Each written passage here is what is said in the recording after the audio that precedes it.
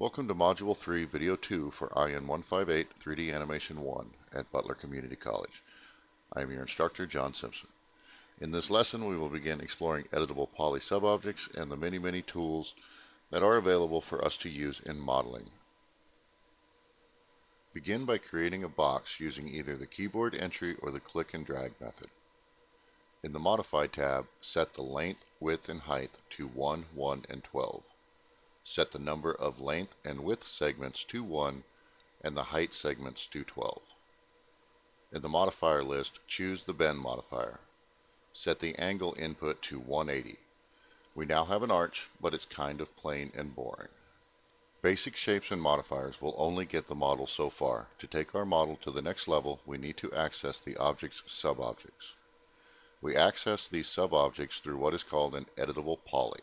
There are many ways to access editable poly tools. Here are two different ways.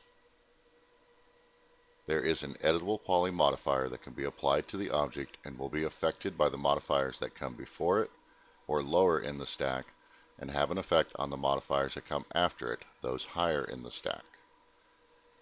All options will remain available, but changing settings in one modifier may adversely affect modifiers higher in the stack.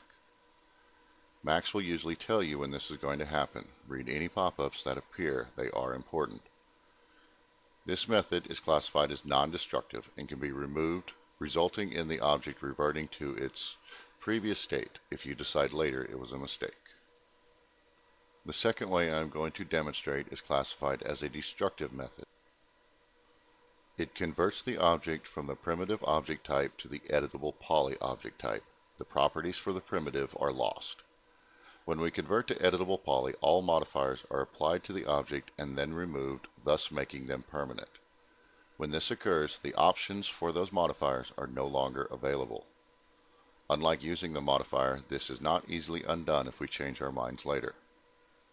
With the box selected, right-click in the viewport and choose Convert to Editable Poly. Editable polys consist of the following subobjects. Vertexes. These are point in space. They have a position on the X, Y, and Z axes. An edge. An edge is a straight line that connects two vertices. Edges are always straight. For a model to be able to bend, it will need many edges.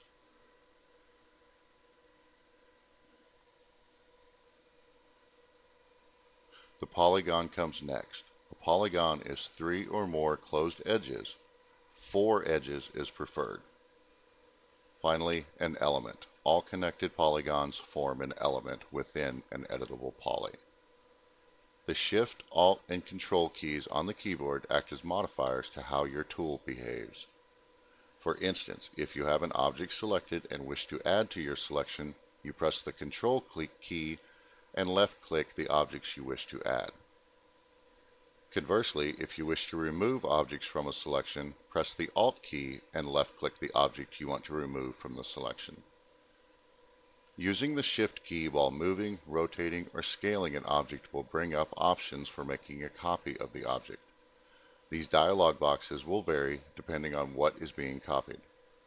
In this case, I have copied an element within an editable poly object. So now there are two elements within the single editable poly object.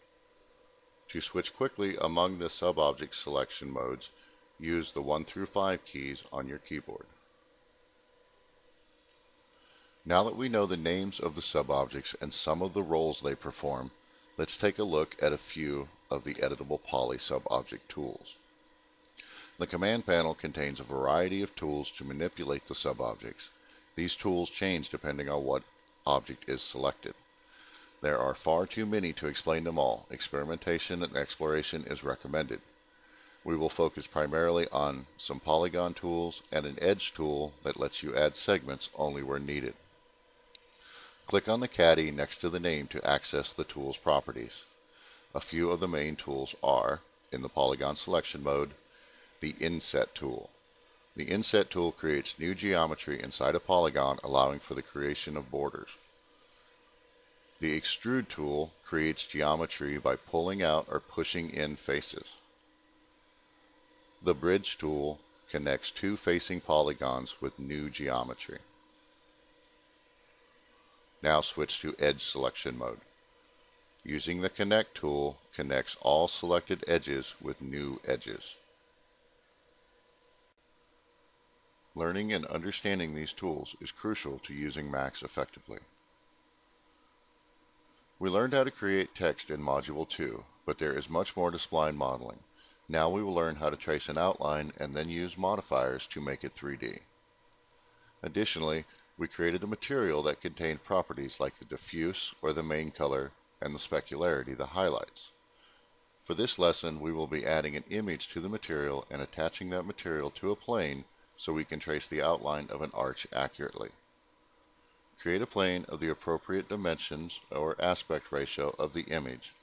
In my case, I'm going with 38.4 units by 55 units.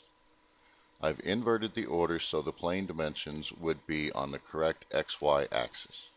If you don't do this, your image will be oriented the wrong way.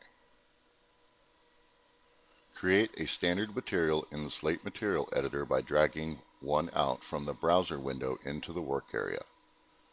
Click and drag from the diffuse slot on the left side of the material into an empty area of the work panel and release the mouse.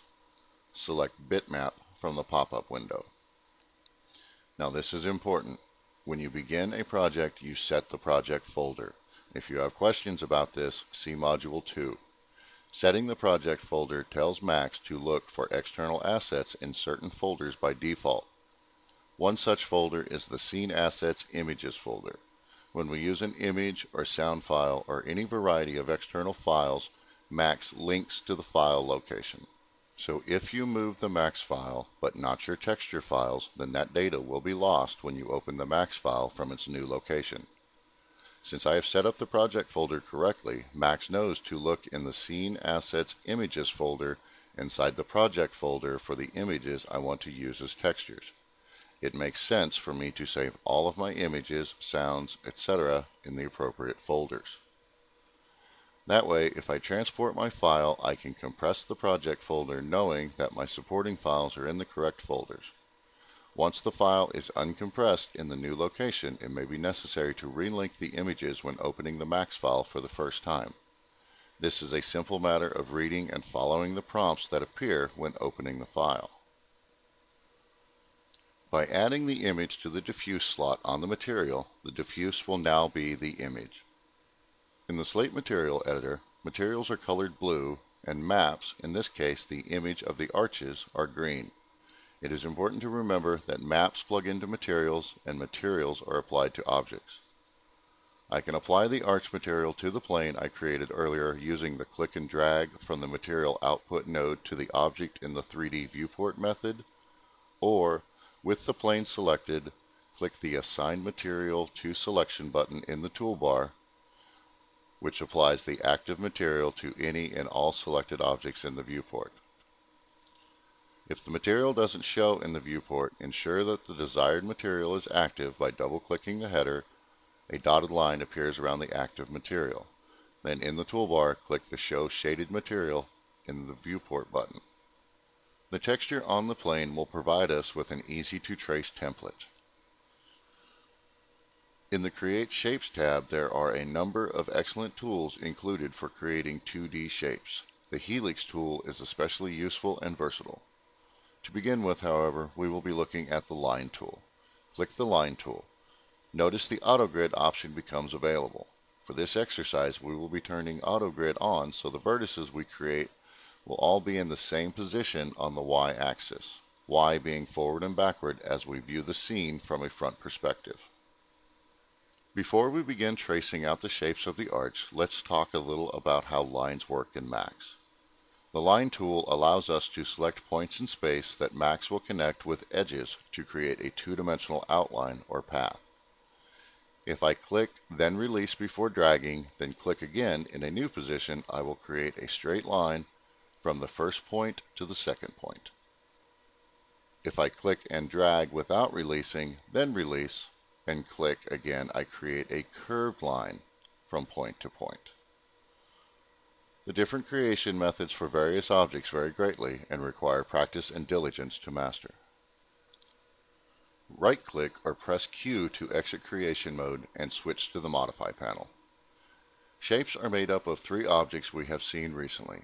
Vertexes, points in space, segments or edges, straight lines connecting two vertices, and the spline, which like the element within the editable poly is all connected polygons, a spline is all connected segments within a shape.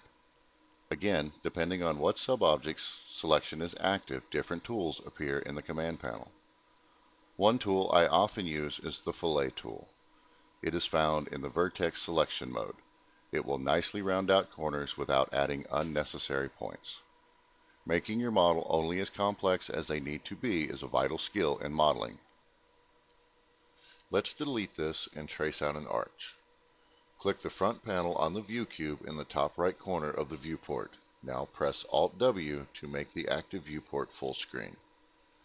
Maneuver the view so the arch fills the viewport. Use the viewport shortcuts you learned in Module 2. Using the click and release before dragging method, I move around the shape in a manner as to finish where I started and end with a closed shape. I only put in straight lines to minimize the number of points in the shape. Using the fillet tool on the corner vertices rounds them out and completes the shape of the arch. There are many tools available for refining your shape, including tools to add vertices and remove them. In its current state, the shape will not render. We can fix this with a modifier. In the Modify panel, click the modifier list and press the S to find the Shell modifier. Apply it to the arch shape. The arch now has depth and volume and will be renderable. In its current state, we can control the inner and outer amount and other properties of the shell modifier, and we still have access to the shape properties. But we do not have direct control over the polygons, vertices, and such that make up the shell modifier. To give us access to those properties and tools I discussed earlier, we can either A. Add an Edit Poly modifier, or B. With the object selected, right-click, then select Convert to Editable Poly. Either method will grant you access to the amazing world of vertices, edges, polygons, and elements, and the tools there that will allow you to model the exact shape you want. I encourage you to review Module 2 for lighting and rendering directions to ensure you are correctly using the Quicksilver engine to render the frames you want and saving them properly. Additionally, review Video 1 in this module to reinforce the concept of modifiers. You have a world of tools and options waiting to be explored and learned. One more thing, since you now know how to use an image as a texture in Max, it's time to begin to build your texture library. Textures.com is a great site that offers many high quality images for download. A basic account is free. Some textures are premium only, but there are plenty of excellent free images. Start now, you never know when you will need the perfect texture. Happy modeling!